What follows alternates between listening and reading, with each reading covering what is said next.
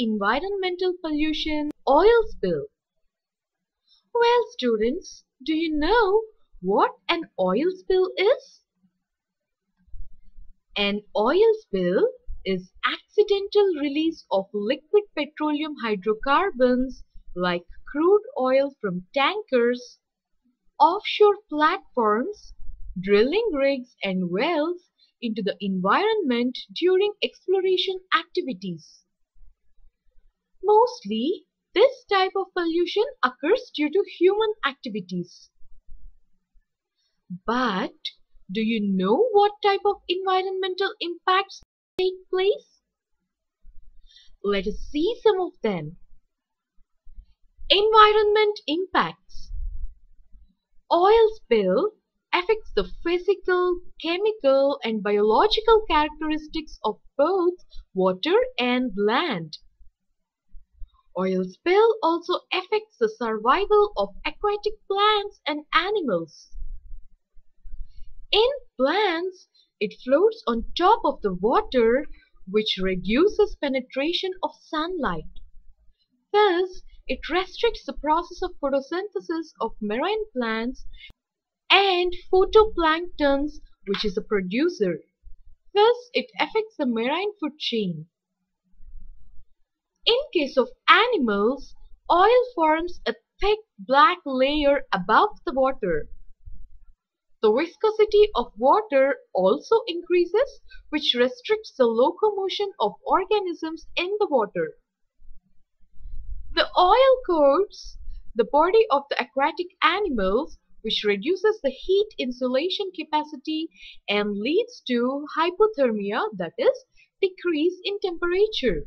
Example seal, killer whales.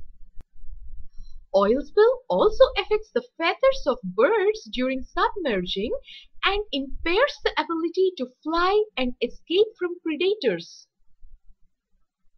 Recent episode of collision of two oil tankers had led to oil spill in Mumbai in August 2010 has proved extensive damage of marine ecosystem and as well as mangrove plants. Control and preventive measures. 1.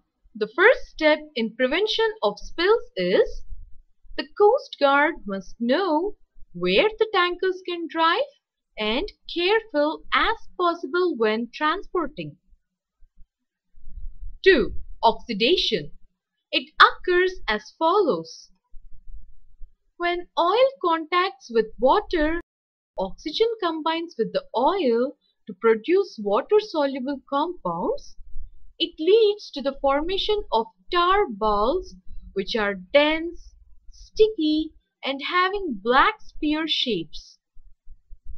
They collect in the sediments of slow-moving or lakes or wash up on shorelines.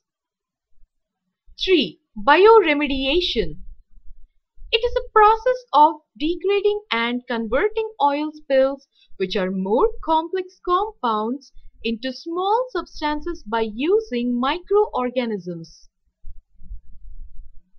4. Prevention of release of oil or hydrocarbons during transit, exploration or accidents.